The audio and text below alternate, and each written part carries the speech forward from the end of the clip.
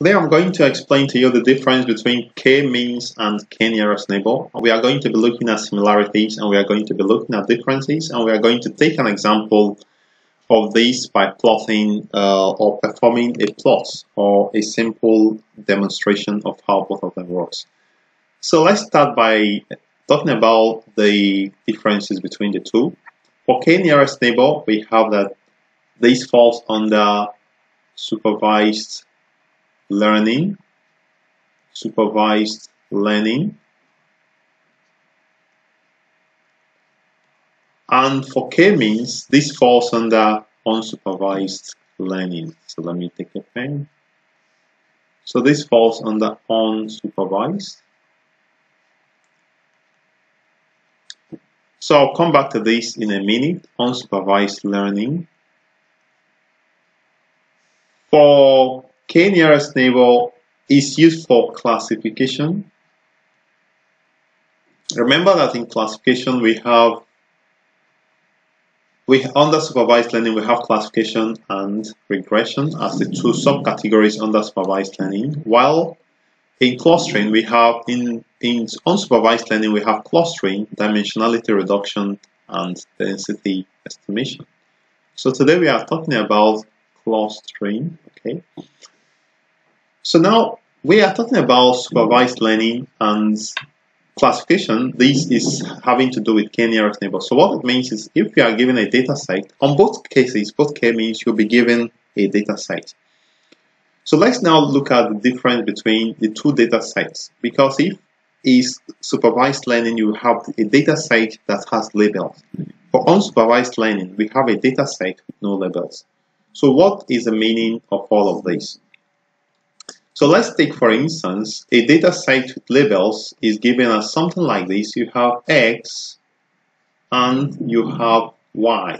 So you have values here, let's say 1, 2, 4, 8, and so on.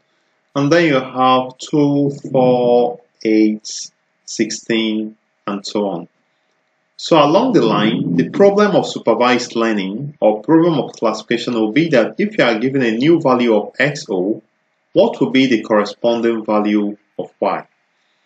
Sometimes it could be x1, x2, and you have a corresponding y. So here we have two independent variables and one dependent variable. Or we can say two features and one class. So it means that this x1 and x2, whatever they are, must belong to one of these classes. Right? So 1, 7, C1. So if you are now giving another set of data, x1, x3, you now need to predict what class it belongs. Is it C1 or C2 and so on. So this is basically how classification works. You are giving set of data and at some point the class is not is omitted and you need to figure out or classify the independent variable into, the into a class. In case of unsupervised learning or in case of clustering, we are given a data set. For instance, we are given x, 1, 3, 4, 5, and you are simply told this is a data set, just make sense out of it. So you find out that in case of unsupervised learning, we are flying blind. We kind of don't even know what this data is all about, but that is what it is clustering or unsupervised learning appear to be a bit more difficult. So it can also be x1 and x2, both being both of them being uh, independent variable. So when you are giving all of these, you are told make sense out of it. This does not mean that one corresponds to 3, one corresponds to 4. No, they are independent. There is no classes that you can actually relate it to. So they are simply set of data points and you have told simply make sense out of it. I think it's clearer this way. Let's now illustrate how they work by plotting using a graph. So let's say in case of supervised learning, we have a data set, or let's call it a training data set that we've actually plotted this training data set. So we have 1, 2, 3, 4, 5, 6, 7, 8, 9, 10, 11, 12, 13, 14. So we have all this data set and we plotted them and we've used colors to differentiate what classes they belong, right?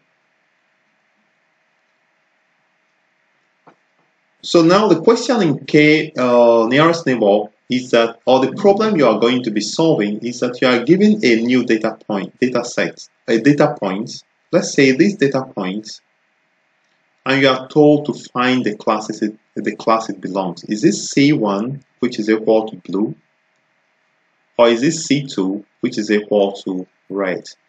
So in this case, your work is to classify this new data point into a class, either a blue or a red class, right? So the approach in case of k nearest neighbor is called a probabilistic approach. So let me just write it.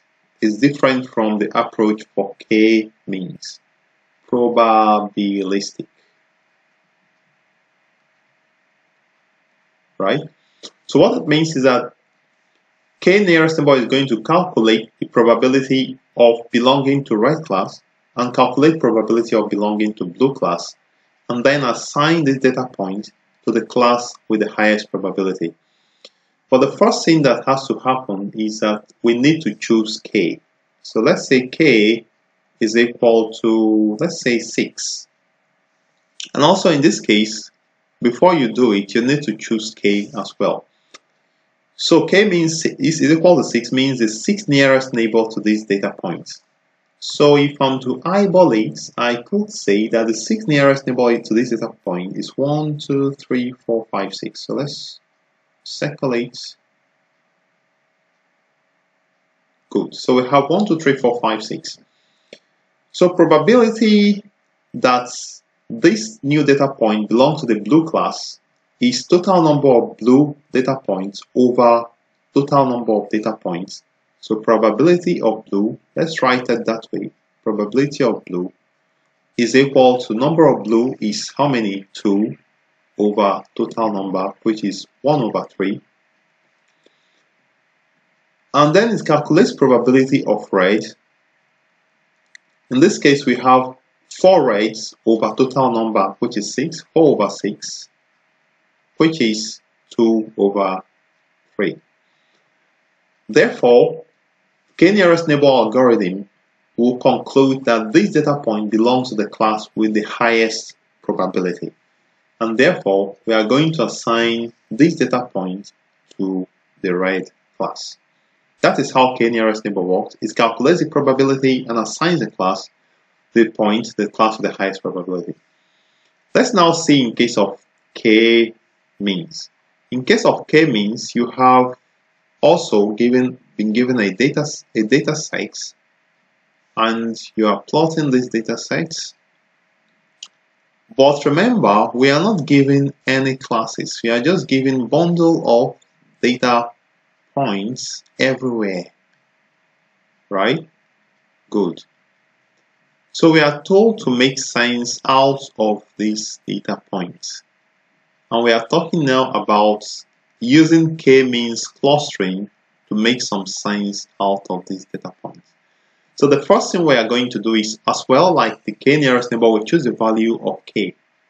So the value of k we choose simply means you need to choose the number of initial clusters. So you randomly cluster them into different clusters.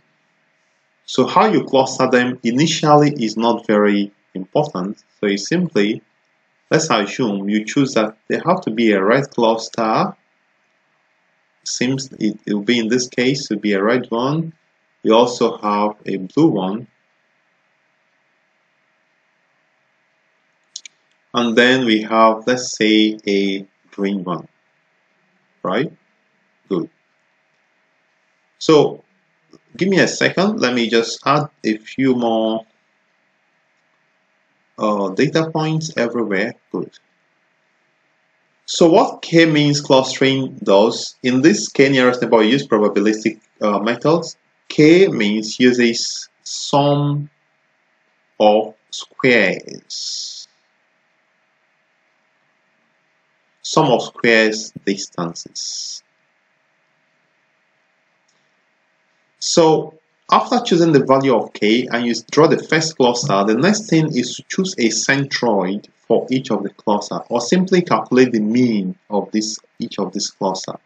Right? So the means is simply the center point. Let's take for instance for the red cluster we have the center point here.